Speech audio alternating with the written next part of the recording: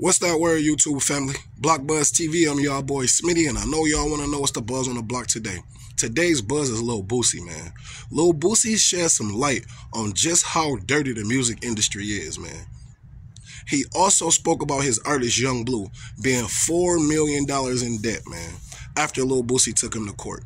We finna get into this, man, but before we do, I need y'all help to grow the channel, man.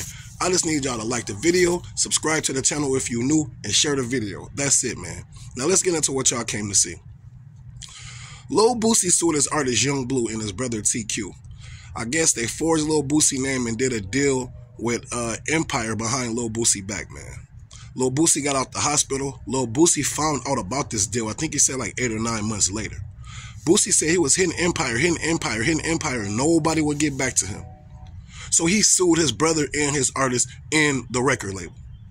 He said while he sued his artist Yung Bleu, he said now Yung Bleu is four million dollars in debt, man, all over lawyer fees.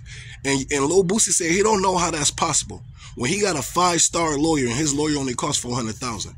So he want to know how the Yung Bleu lawyer cost four million. He said the record label is getting over on Yung Bleu, man. Y'all like, comment, and subscribe, man. I'm gonna play this video for y'all, man. I'm out. Like me. How you four million in debt? And I'm only 350,000 in debt. And our lawyers both have five-star things on YouTube. That's what they do. Since they paying for your lawyer, no, they didn't gave him probably 400,000, Bleu. And they didn't put 3.6 million on top, bro. When y'all could have paid me and this would be over with. Bleu said they say he in $4 million debt with these lawyers. How? How?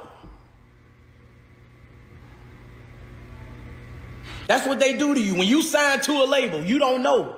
And all they, the labels and the, and the lawyers, they are friends. So you know what they're going to put on the tax return? They paid me $4 million. So when you drop your next album, when you looking for a check, you $4 million in debt. Not counting what they spent on your money. So now you what? $10 million in debt. You will never see another check. They put us against each other, then rape you with the lawyers. We're going to take care of the attorneys. We're going to get the best attorneys you need. That's what they do to the, to the black man.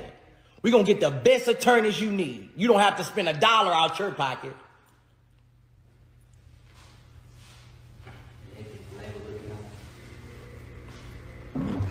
This shit ain't checkers, man. This is chess. This ain't no checkers, bro.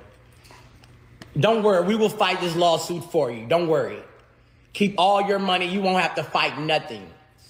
Till they come back with that bill and say we spent four million dollars fighting this case.